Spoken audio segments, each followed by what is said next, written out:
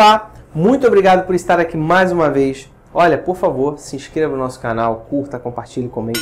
É muito importante a sua participação para a gente conseguir chegar aí a 100 mil inscritos. Por favor, nos ajude nessa empreitada, tá bom? A gente vai ganhar aquela plaquinha lá de 100 mil inscritos. Nos ajude, tá legal? Olha só, no último vídeo nós falamos sobre como se, é, como se proceder numa perícia médica do INSS. Inclusive, no último ponto, demos uma questão, uma, um ouro ali para vocês, que foi o manual técnico da, dos peritos do INSS. Ali você tem todas as dicas ali de como eles procedem dentro de uma perícia médica. Tá legal? Se você não assistiu, assiste lá. Nesse vídeo vamos falar o seguinte, Giovanni, meu benefício foi negado. O que fazer? Olha só, gente, vamos lá. O benefício, primeiro tem que ser feito o pedido administrativo, junto ao INSS. Liga para o 35, entra no site, faz o agendamento, certo? É, depois disso, eles podem negar ou conceder.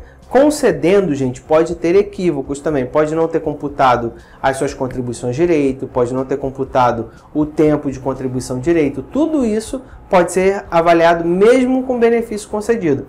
Mas o grande problema aqui são as, é, as negativas aí. Quando o benefício é negado, aí sim você tem que buscar a esfera judicial.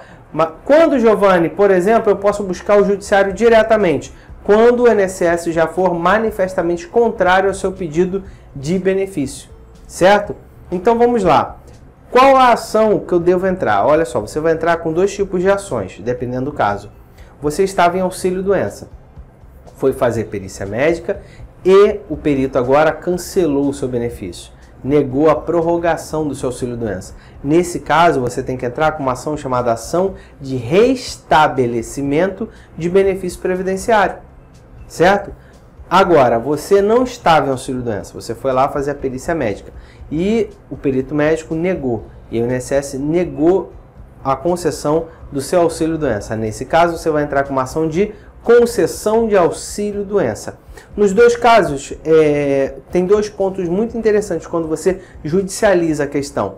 A primeira, que o, tem processos que vão ser julgados em matérias de direito. Por exemplo, se você perder a qualidade segurada, eles colocam lá a decisão: olha, negado seu pedido porque você não tem mais qualidade de segurado, ou você não tem tempo de contribuição suficiente, ou você perdeu a carência, ou o que for. Nesse caso, é matéria de direito.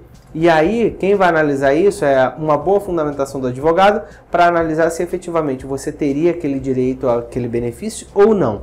A outra questão é uma matéria técnica, que o juiz basicamente basicamente não, totalmente, ele vai fundamentar sua decisão na perícia médica judicial. E aí a importância do advogado é, é nomear, nomear não, né? Pedir a perícia médica específica, um médico específico. Se é ortopedista, está com problema de coluna, ortopedista. Se está com problema na cabeça, é aí depende se é psiquiatra, se é psicólogo. Olha como é interessante, é importante você é, saber desco descobrir aí, definir qual é o médico específico. Você vai pedir a perícia médica ortopedista.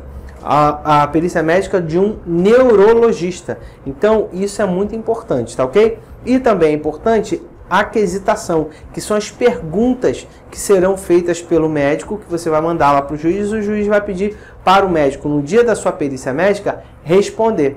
Também, para esse perito médico é, judicial, tem um manual de perícia médica judicial, mas eu acho que é desnecessário você conhecê-lo, porque basicamente o que vai definir o seu direito são as quesitações e a documentação médica que você tem. Isso é extremamente importante.